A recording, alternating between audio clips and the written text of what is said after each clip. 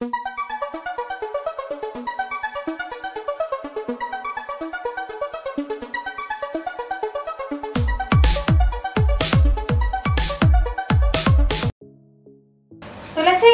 తులసి లేదా? తులసి లేదండి ఇప్పుడే మార్కెట్కి వెళ్ళింది. అయ్యో తులసి ఉంటే బాగుండేదేమో. ఏం కావాలి? చెప్పండి పర్లేదు. అయ్యో తులసి ఉంటే బాగుండదు. పర్లేదండి చెప్పండి నాతో చెప్పండి. కొంచెం పప్పు అది కావాలి. మీకు పప్పేగా కావాల్సింది.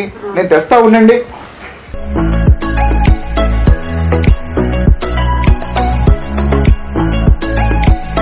ఇదిగోండి పప్పు.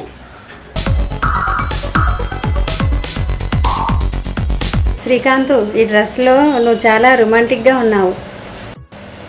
ఓ థ్యాంక్ యూ అండి.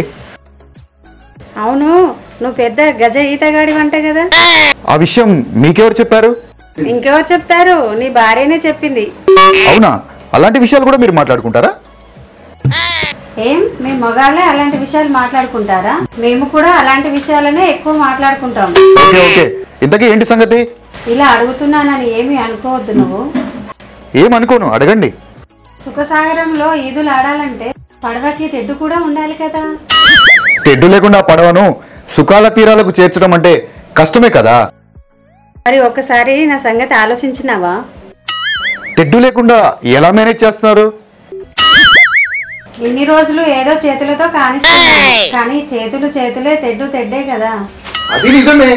అయితే మీరు ఒక తెడ్డుని తెచ్చుకోండి. మొగుడు సచ్చిందని. నామకం ఎవడు చూస్తాడు? ఈదులాడడానికి అలాంటి పట్టింపులు ఏమి ఉండవు. అంతేనంటావా? అంతే ట్రై చేయండి.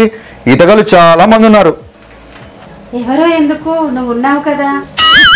నీ భార్య పడవను తెడ్డుతో ఎలా అల్లాడిస్తావో నా పడవ అలానే ఆడించేసే. ఏం? నా పడవకు నీ తెడ్డు సరిపోదా? అది కాదు. నా పడవ నడపడానికి నీకేంటి అభ్యంతరం? నీకన్నా పెద్దదానని ఆలోచిస్తున్నావా? అది కాదు. మరి ఇంకేంటి? అక్రమ సంబంధం పెట్టుకోవడం నాకు ఇష్టం లేదు. పత్తిత్తు మాటలు మాట్లాడకు. అరే ఫ్రీగా ఛాన్స్ ఇస్తున్నాను. పడవని నడుపుకోరా మొగడా అంటే ఏదో సాకు చెప్తున్నావేంటి? సాఫీగా హ్యాపీగా సాగుతున్న మా సంసార నౌకను నేను చేతులారా పాడు చేసుకోలేను. ఇలా ఇప్పుడు నువ్వు వచ్చి కలిస్తే? పత్తిత్తు మాటలు చెప్పొద్దని ఇప్పుడే కదా చెప్పాను. బలవంతం ఏమీ లేదు. నీ కాపురంలో చిచ్చు పెట్టను. ఏదో ఉప్పు కారం తింటున్న శరీరం కదా. దానికి కోరికలు ఉంటాయి కదా అని అందుకే నిన్ను అడుగుతున్నాను అంతే. సారీ అండి. నా భార్యకి నేను అన్యాయం చేయలేను. నా భార్య అంటే నాకు చాలా ఇష్టం. అది పిచ్చిదండి. నేను ఇలాంటి పని చేశానని దానికి తెలిస్తే బ్రతకదండి. చచ్చిపోతుంది.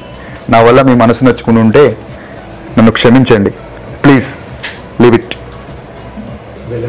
వెళ్ళండి.